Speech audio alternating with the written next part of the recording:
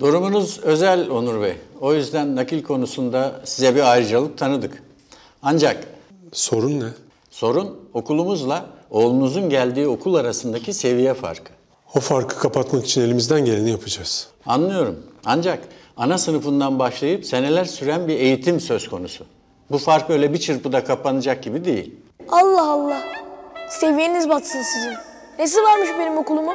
Haklısınız. Ama ben yine de bir deneyelim derim. Önceden söylediğim gibi Memo'nun eğitimindeki eksikliği özel derslerle en kısa sürede kapatacağımıza inanıyorum. Pekala. Pervin Hanım, buyurun. Benimle geliyorsun. Teşekkürler. Kolay olmayacak.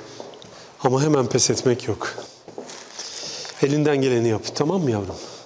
Tamam. Güzel bir okul burası. Yakında alışırsın. Hadi sarıl bir babaya.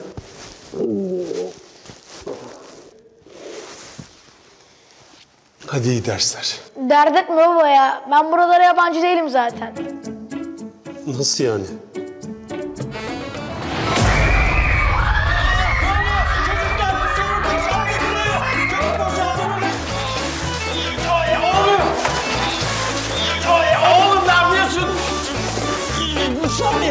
Hocam kaldıracağım. Sakin ol. Sakin ol hocam. Sakin.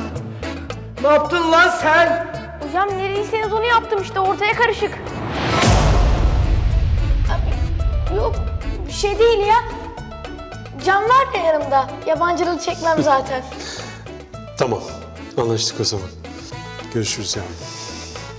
Size de iyi günler. İyi günler Onur Bey.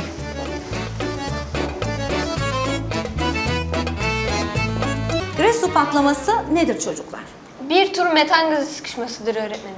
Başka? Metan gazın havayla karışması sonucunda olur. Başka etkenler yok mu? Oksijen ve patlayıcı gaz temas ederse. Şimdi oldu. Tutuşturucu bir kaynakla temas etmesi şart. Peki başka nerelerde görünür? Maden ocaklarında. Kömür yataklarında öğretmenim.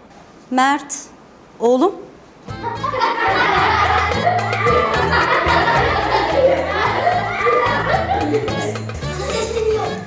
Ne var be?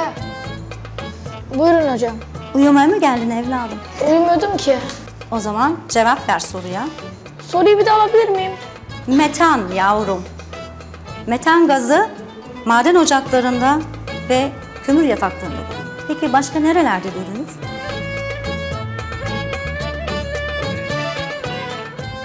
Ne bakıyorsun lan? Kanalizasyonda öğretmenim. İşte bu. Duydun mu Mert? Hocam duydum da yani eksik. Öyle mi? O zaman sen tamamla eksiği. Çöplüklerde hocam. Çöplük mü? Ne alaka öğretmenim? Biz çöplükte çöp, hurda falan toplarken en çok metandan korkarız. Yine mi anlatırdı?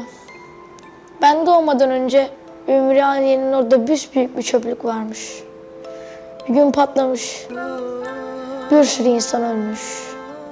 Çöpün altında bir sürü insan kaybolmuş. Sakat kalanlar olmuş. Yine oradan şans eseri kurtulmuş yaralı. Şimdi onun orada koskoca binalar var. Ne zaman önünden geçsek Ninemin gözü dolar. Çöp topladı arkadaşları gelir aklına. Onlara bir dua okur içinden.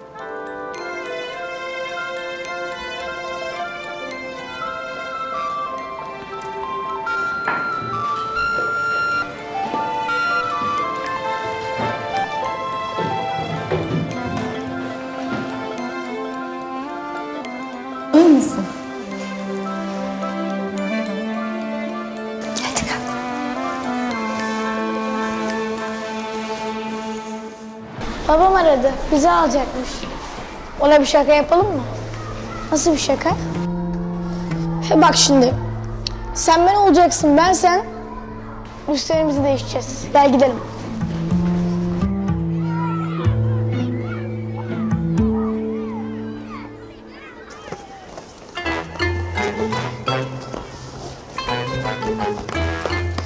Ne haber Can? Nasıl geçti okul? Neye gülüyorsun ya? ya bu zaten al şu gözlüğünü, gözüm bozacak. Oo. İşbirliği yapıp babaya numara çekmeler ha? Ee tabii. Tamam. Yazdım ben bunu bir kenara. Hadi geçin bakalım arabalara.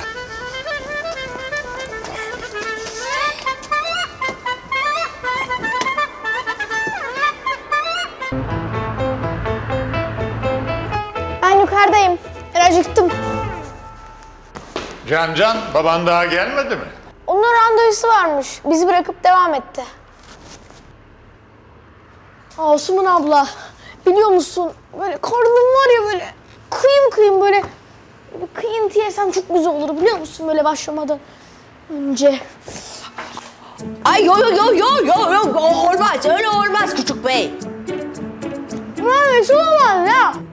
Biz önce dışarıdan geldiğimiz zaman önce ellerimizi yıkıyoruz. Ondan sonra günlük kalori miktarına göre Asuman Usta bize bir şeyler veriyor yemek. Ne kalorisi... Allah Allah. Lütfen düzgün konuşalım düzgün.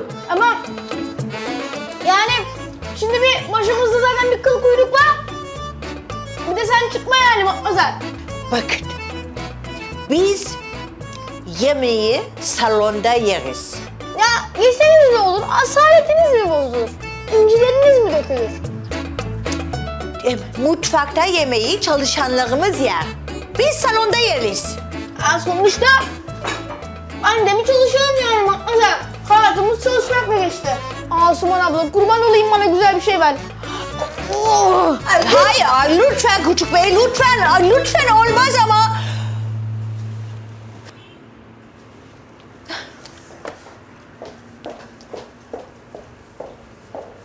Afiyet olsun. Sağ ol dede. Nasıl geçti bugün okul? Allah kötüydü.